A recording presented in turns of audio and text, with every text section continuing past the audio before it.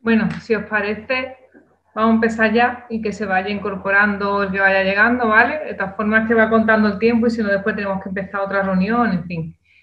Eh, bueno, para la que no me conozca, no sé si alguna de las dos no me conoce, yo soy Sonia, soy una de las trabajadoras sociales de, la asociación.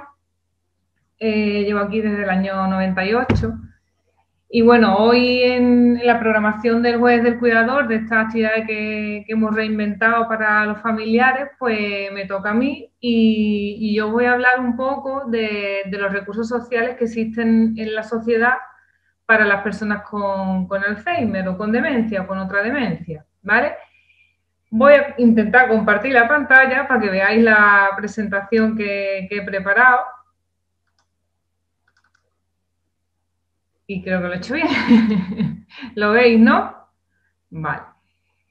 Vamos Bueno, pues nada, como decía, eh, voy a hablar de los recursos sociales.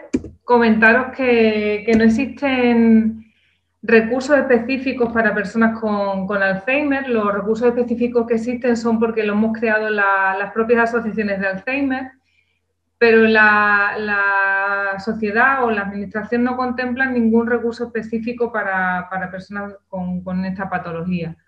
Eh, yo entonces de lo que os voy a hablar es de los recursos que, de los que se pueden beneficiar las personas con Alzheimer o con demencia, que son aquellos que van dirigidos a personas dependientes, a mayores o a personas con discapacidad, ¿vale? El principal objetivo de cualquiera de, estos recursos es intentar mantener a la persona en su entorno habitual, en su, domicilio habitual, evitar pues, institucionalizaciones, que tengamos que meterlos en residencia eh, y tal. Lo primero que, de lo que os voy a hablar es la famosa ley de, promoción, que se llama la, la, ley de dependencia, que se llama Ley de Promoción de la Autonomía Personal y Atención a las Personas en Situación de Dependencia que está contemplada como el cuarto pilar del estado de bienestar. Hay, tres pilares más, que son la sanidad, las pensiones y la educación, y este pues se considera un nuevo, un nuevo pilar y da lugar al reconocimiento de, un nuevo derecho, pues para eso, para personas que tienen algún tipo de, dependencia.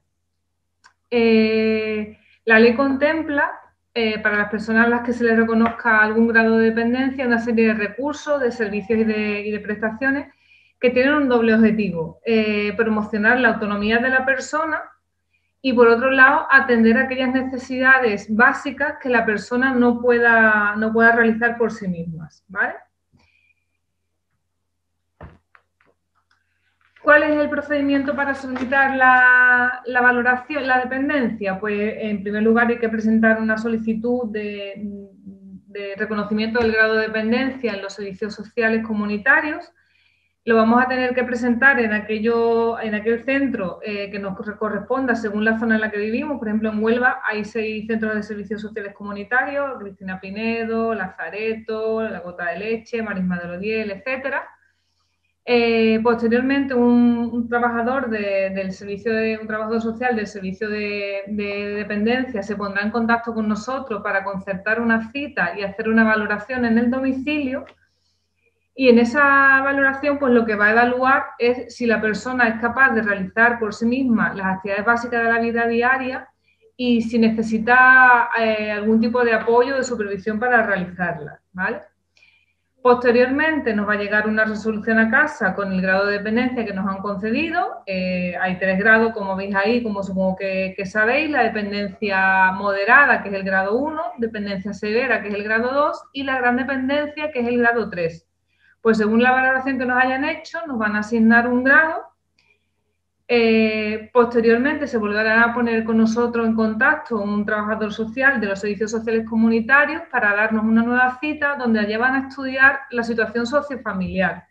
Y de acuerdo y teniendo en cuenta nuestra opinión, eh, van a ver cuál es el recurso más adecuado según pues, el grado que, la persona, que, la persona eh, tiene. Por eso pone ahí derecho a, la ayuda, a las ayudas según, el grado. Por último, esta, bueno, por último, esta persona que hace esa valoración eh, va a elaborar el programa El PIA, que es el programa individual de atención, que es donde va a venir reflejado el recurso que se nos asigna, eh, la, fecha de efectividad de ese, recurso y el, copago, ¿vale? Mm, importante, en la ley de dependencia siempre se contempla el copago. La persona siempre va a tener que, abonar una, parte del recurso, excepto cuando son prestaciones económicas, pero la persona siempre va a tener que contribuir económicamente y siempre va a ir un poco en función de su capacidad económica, ¿vale? Eh, bueno, pues esa capacidad económica también va a venir reflejada ahí en ese, en ese PIA. ¿Qué recursos son los que contempla la dependencia? Pues la teleasistencia, que supongo que, conocéis ya, eh, que es el aparatito este en forma de pulsador, eh, o sea, que es un pulsador, perdón, en forma de colgante o de pulsera, que como os he dicho, pues lo que intenta facilitar es la permanencia de la persona en su entorno habitual, es decir, es una ayuda para que la persona pueda permanecer en su casa ofrece una atención directa y personalizada a través de, a través de, ese, aparatito y aparte pues a través de profesionales especializados. Mm, hay que tener una línea de teléfono fija, ¿vale? Eh, no, vale si tenemos una línea de, móvil en casa o, bueno, hay que hacer algo de una tarjeta de datos o tal, pero en definitiva lo que hay que tener es una, una línea de teléfono fija eh, espera un momentito que creo que hay... Un segundito, voy a salir aquí a ver si consigo meter a la persona que creo que está aquí, que no... Aquí. Ya, vale. ¿Veis la presentación, verdad? Vale. Ahora tengo que dar para adelante. Bueno, la, teleasistencia. ¿Qué actuaciones contempla la, la teleasistencia? Pues eh, lo, que, lo que se ofrece es atención personalizada, seguimiento de, la familia, de, la, familia de, los usuarios y contacto periódico, ¿vale? Tiene una intensidad de 24 horas al día, los 365 días del año. Los beneficiarios van a ser cualquier persona que tenga reconocida la dependencia, da igual el grado que tenga, esta es uno de los, de los únicos recursos que da igual que tenga grado 1 que grado 2 que grado 3, ¿vale? Lo único que se exige, pues como he dicho, vivir en un domicilio habitual y tener una línea de teléfono fija y la persona pues va a tener que aportar eh, económicamente, va a ir en función de, una tarifa mensual a la que se le van a aplicar eh, bonificaciones y descuentos, excepto para las personas mayores de 80 años, para las cuales va a ser gratuita la, teleasistencia. Otro de los recursos que contempla la ley de dependencia, la ayuda a domicilio. La ayuda a domicilio, el objetivo es eh, ofrecer una ayuda, una, atención en el domicilio para aquellas personas que tengan dificultades para poder realizar en, su día a día las actividades básicas de la vida diaria. Se contemplan principalmente, ¿vale? Hay otras, pero principalmente dos tipos de ayuda. La atención a las necesidades del hogar, por ejemplo, pues ayuda para realizar las tareas del hogar, tipo limpieza, hacer la comida, el lavado de ropa, ayuda de apoyo personal, que ya es ayuda para el aseo personal, para dar la medicación, para dar de comer, para hacer movilizaciones y transferencias. También otro tipo de ayuda que es acompañamiento en gestiones, etcétera, ¿vale? Pero esas son las dos principales. Mm, ¿De qué va a depender la intensidad del servicio? ¿Vale? Eh, como veis, cada grado tiene asignado un número de, un intervalo de horas, ¿vale? El grado 1 es solamente hasta 20 horas a la semana, al mes, perdón, el grado 2 puede ser de 21 a 45 horas mensuales y el grado 3 de 46 a 70 horas mensuales. Bueno, pues, mm, como veis ahí, va a depender que nos den más o menos horas del grado, pero también de la, necesidad que tenga la persona, de las necesidades que tenga y, bueno, y después hay que también que, colaborar eh, eh, económicamente, ¿vale? ¿Cómo, ¿Cuánto hay que, cuánto ¿Cómo se calcula lo que la persona va a pagar? Pues va a depender también de la capacidad económica de la persona. Hay uno, uno unos criterios establecidos y según la capacidad económica de, la persona dependiente, pues se va a establecer un copago. Aparte de la ayuda a domicilio, los centros de día y de noche los centros de día y de noche, el objetivo es mejorar o mantener el nivel de autonomía de las personas a través de una serie de terapias y de, programas que están adaptados a la situación específica de cada uno y que además también ofrece un, respiro, un, apoyo a la familia, ¿vale? Porque son unas horas que la persona está, eh, está siendo atendida. Centro de día de, en Huelva hay dos, pero centro de noche, que yo sepa, no hay ninguno todavía, ¿vale? ¿Qué servicios ofrece el centro de día? Pues además de programas, como he dicho, y terapias específicas adaptadas a la capacidad de cada persona, pues para mantenerlas estimuladas y, conseguir pues, que estén activas y que, se estimulen todas las áreas afectadas por la enfermedad, eh, se ofrece manutención y transporte adaptado. La intensidad del servicio son 8 horas diarias, de lunes a viernes, durante todo el año, ¿vale? Por ejemplo, nosotros no, cerramos, eh, no permanecemos abiertos los 12 meses del año. Los beneficiarios van a ser las personas mayores de 65 años que tengan grado 2 o grado 3. De momento, los grado 1 no, todavía no se contempla el que puedan asistir a un centro de día. Y también va a haber un copago. En este caso, el copago, bueno, en este caso igualmente va a depender de la capacidad económica de, de la persona y en el caso de los centros de día, concretamente lo que se abona es un 25% de la pensión del usuario, ¿vale? 25% que en el caso de ser matrimonios, mm, a excepción de que tenga separación de bienes, lo que se, hace es eh, del cómputo total de, las pensiones. Si es un matrimonio y los dos tienen pensiones, pues se suman las pensiones de los dos, se dividen entre, se divide entre dos y de, de esa mitad abonaría el 25%. Si solamente uno tiene pensión, pues esa pensión se divide entre dos y de, y de, esa, de esa mitad pues abona también el 25%, ¿vale?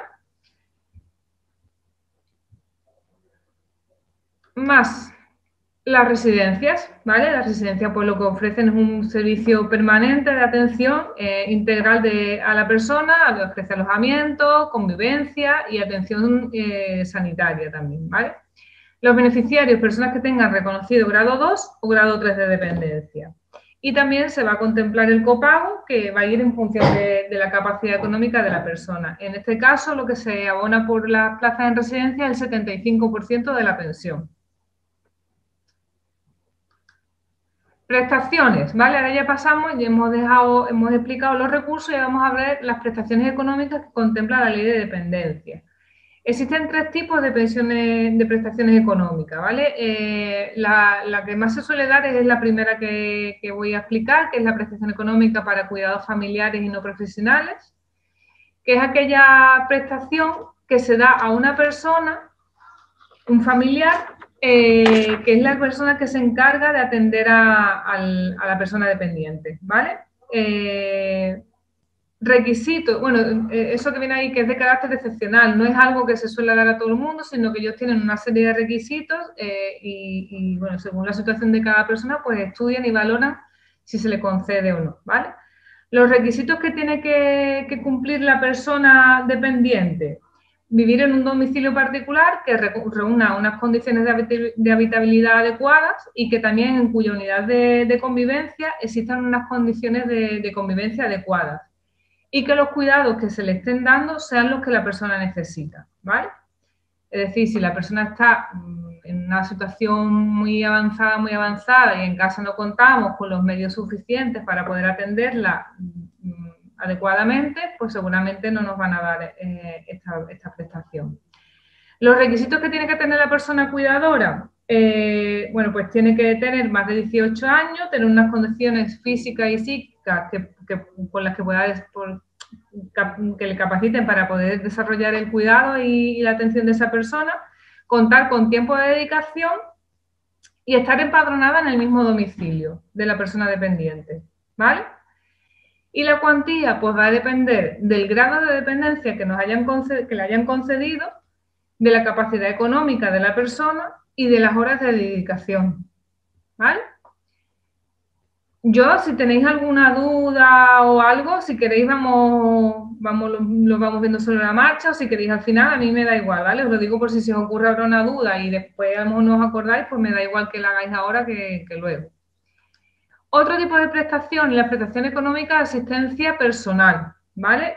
Este tipo de prestaciones eh, es para contribuir a, cubrir los gastos de la contratación de un asistente personal, ¿vale? De un, de un cuidador, por así decirlo. Pero es importante que uno de los requisitos que hay que tener para recibir esta ayuda es que la persona dependiente tenga capacidad para decidir quién quiere que sea esa persona cuidadora y para decidir qué requisitos, o sea, qué servicios quiere, quiere que se le ofrezcan, ¿vale? Con lo cual, este tipo de, prestación no se le suele ofrecer a las personas con Alzheimer, porque no tienen capacidad para decidir quién quiero que sea mi cuidador o, ¿vale? Eh, requisitos para ser asistente, pues muy parecido a los de la prestación anterior. Tener más de 18 años, tener, reunir unas condiciones físicas y psíquicas que, te permitan eh, cuidar adecuadamente y además eh, tienes que estar dado de, alta en una, dado de alta en la, en la seguridad social, ¿vale? Igualmente, la cuantía de las ayudas va a depender del grado de dependencia que tenga la persona, de la capacidad económica y de las horas de dedicación. Y por último, en cuanto a las prestaciones económicas, está la prestación económica para adquisición de, un servicio, ¿vale?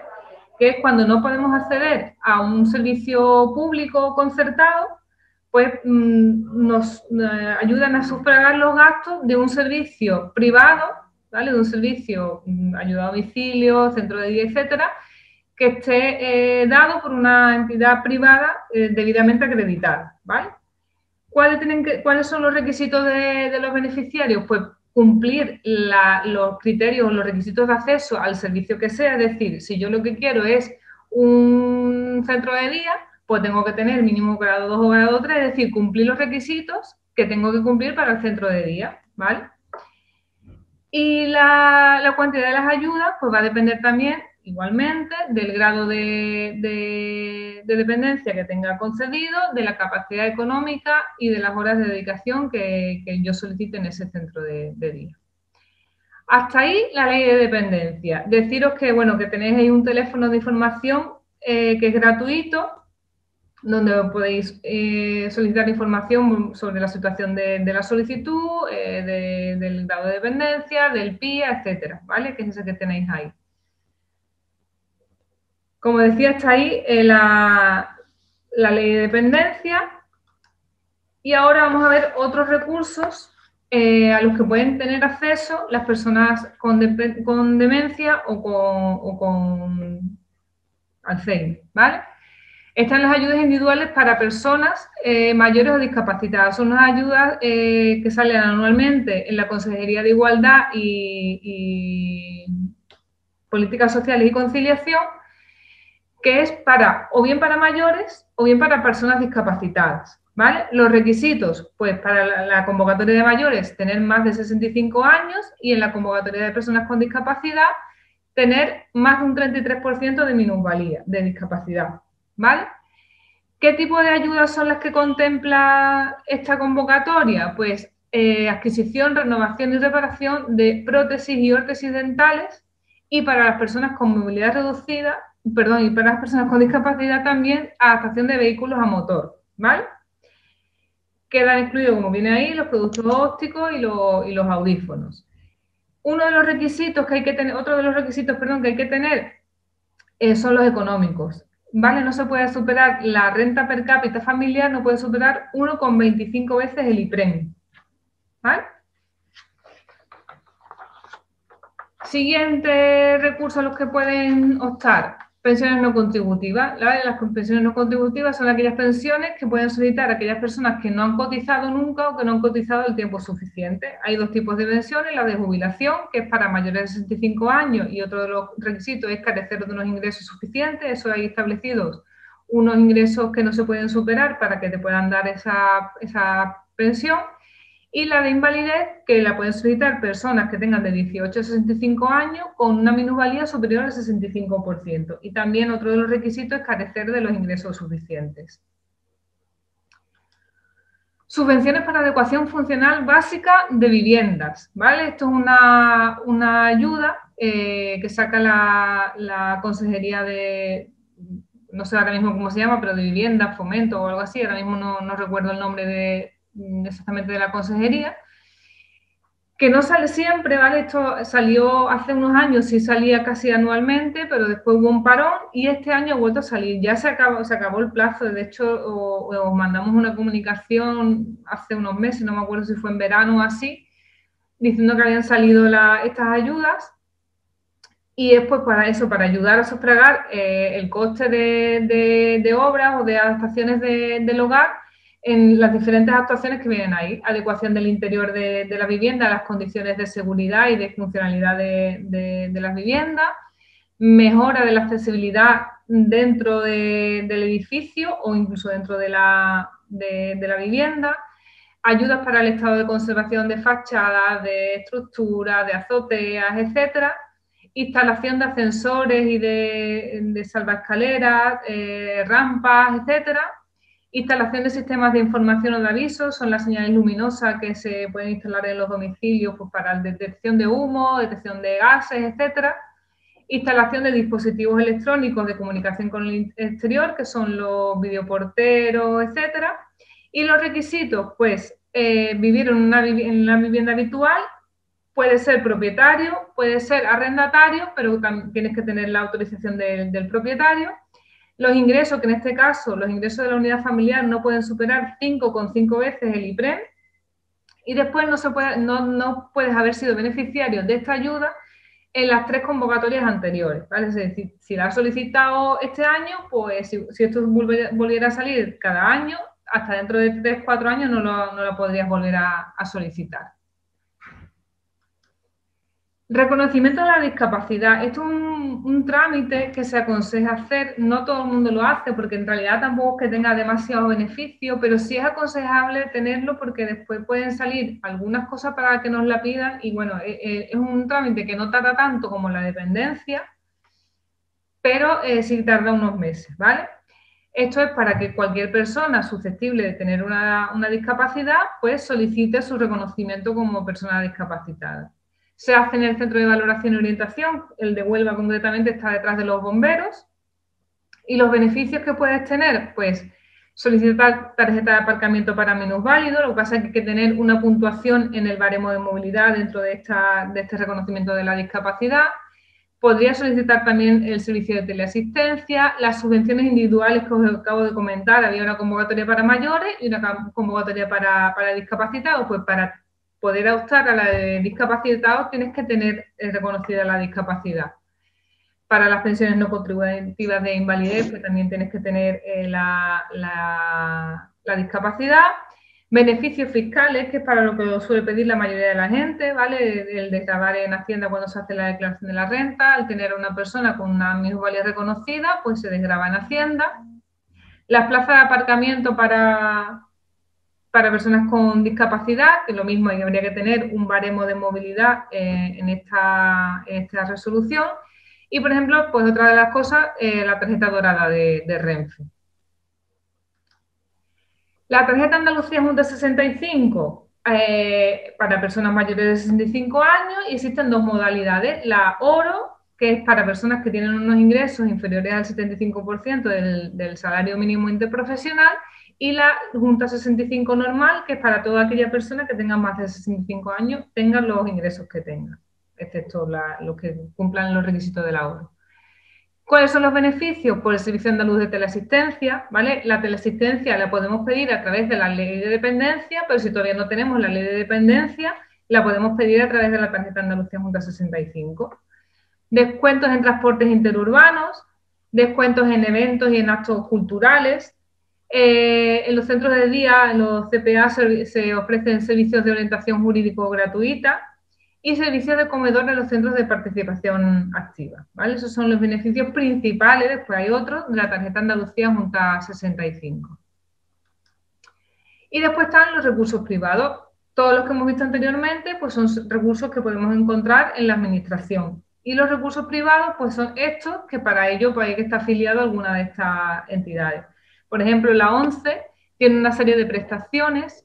El IFA, que es el Instituto, Instituto Social de las Fuerzas Armadas, eh, Guardia Civil, Ejército, etcétera, también tiene eh, eh, prestaciones para, las personas con alguna dependencia o discapacidad y prestaciones de MUFACE, ¿vale? La mayoría de estas tres entidades tienes que tener ya la, o sea, las ayudas que ellos dan son como un complemento a la ley de dependencia. Es decir, tienes que tener la ley de dependencia para que te den la, ayuda. Pero aún así, si alguno os encontráis en alguno de estos casos, pues podéis contactar con ellos para que os expliquen exactamente cuáles son las ayudas que tienen, que suele ser ayuda a domicilio, ayuda para centro, algunos tienen ayudas económicas y que os expliquen los requisitos que tenéis que cumplir.